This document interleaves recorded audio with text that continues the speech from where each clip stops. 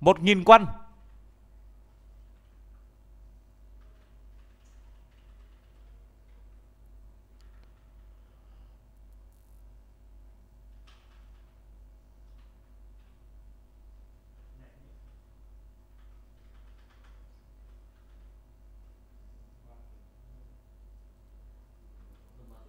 Sợ 19 phút trước nhỉ?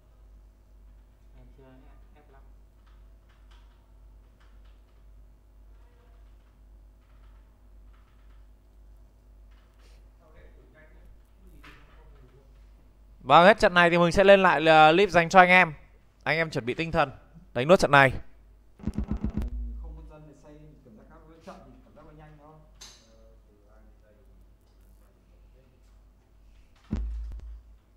Thôi Zoman tiếp. Zom cho. Quân là hai chém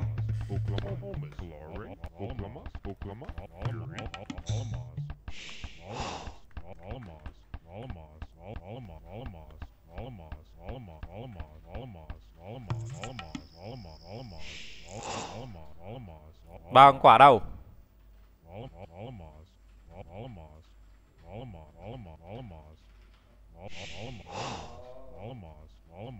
Nhà có vẻ khá dốc và Chẳng có lẽ quả lúc nào cũng phải trên dốc như thế này. Giờ hết bóng đen đi anh, Ở trong nhà giữa nhà. Ồ, Khe rừng này rồi, Tô đồ trong khe rừng này. Biết ngay mà, Thường là như vậy. Ồ, thế ăn thế nào bây giờ? Ô, bài này cố gắng lên thủ trận lực lúc đầu Xong sóc châu P ra làm trận highlight vậy. Một bài không lên đời.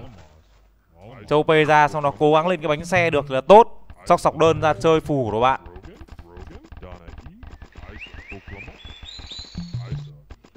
Bài đóng ăn hiêu trước. Quả ra nằm giữa khe rừng thế này? Nằm oách liệt thật ở giữa đá với hai khe rừng. À giữa giữa bãi vàng với hai khe rừng. Nằm oách liệt thật đấy. Bố nào tạo mát thì Có thể lên tiến được không ạ? Đấy, Nhân viên của anh ghét rồi. Rồi ạ tạo cho cái map phát khiếp.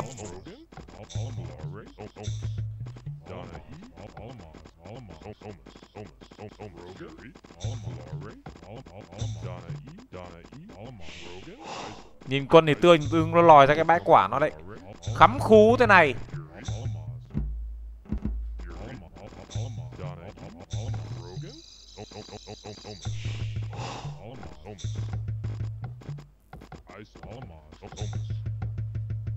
Oklahoma, Yuri, Almaz, Zokontal, Almaz,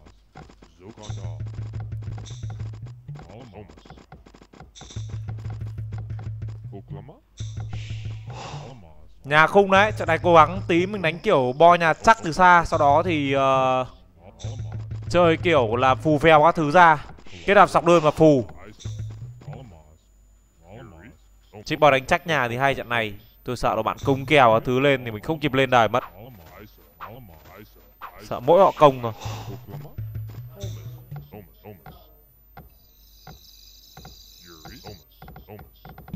Sợ còn đồ ăn bây giờ phải tìm rất nhanh để đủ thức sóc dân.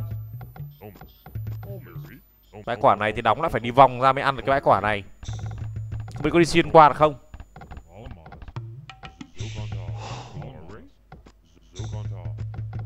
Không xuyên được thì làm gì có chỗ đặt BG bây giờ Chả lẽ cho dân đi một vòng ra À xuyên được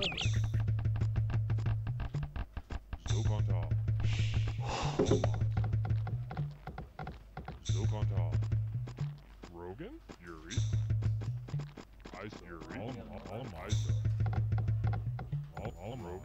Oh, oh, oh, oh, oh, oh, oh, oh.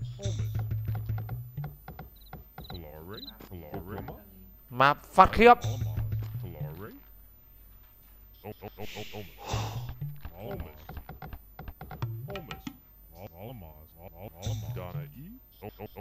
Để xem là liệu rằng đồ bài của bạn có lên được đời không biết đâu nhở?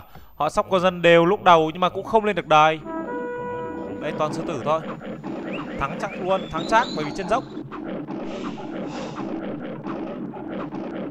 Ồ, điều thật. Đúng là cái số nó đến thì nó cũng không thể nào cưỡng nổi. Đứng trên dốc rồi mấy tầng như thế mà phi mà không ăn được. Phóng mít ít nhất là hai phát. Yes. Vâng, chưa gì tham nó đè quá rồi. Cái map cái bãi quả nó khắm quá. Mà cái bấy bốn cái con sư tử nó lại hai con cặp một ở chỗ này. Ôi dồi nó canh quả. Ai dám vò mò vào chỗ này? Ai dám mò vào chỗ bốn con sư tử này à rời?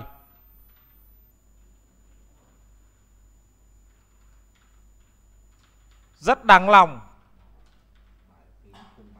Bài của game thủ Chip Boy xem có gì không? Bài sẽ đánh qua một áo thẳng đến từ cái tủ hơn Chip Boy. Qua một áo thì bài này mình kích tầm 13 Mình mới kích được đời. Vâng, rất đáng tiếc. Như vậy Trung Quốc chúng ta thua 2-3 về C. Dẫu sao thì hôm nay như đã có những trận thi đấu rất tốt. Chip Boy cũng có trận thi đấu hay. Trung cuộc thì Chip Boy là người đã tận dụng tốt hơn Và anh giành chiến thắng với tỷ số là 3-2 về C. Cảm ơn tình cảm của quý vị khán giả rất nhiều đã ủng hộ cho Hoàng Mai Nhi. Và sắp tới sẽ có những kèo đấu hot tương tự Để chúng ta có thể dành ờ, nhiều tình cảm với nhau hơn. Bây giờ thì xin chào và hẹn gặp lại các bạn ở những buổi livestream tiếp theo. À, Chúc các bạn có buổi tối ngon giấc.